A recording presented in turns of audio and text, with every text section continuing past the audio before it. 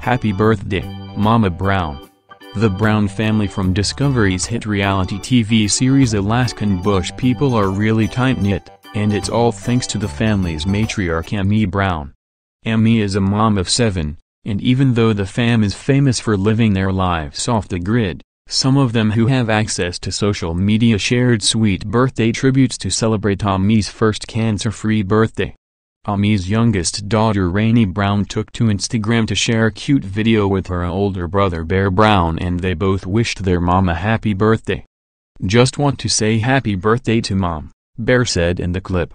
Seriously, it's awesome to still have our mother around, quite frankly. Happy birthday, mom.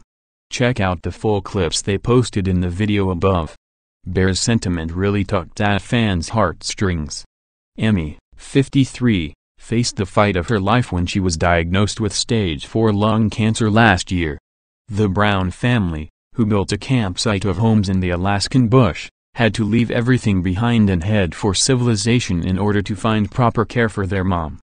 The entire family lived in LA for a few months while Emmy underwent treatment at Cedars-Sinai Medical Center, and after she completed chemo, she found out that her cancer is in remission.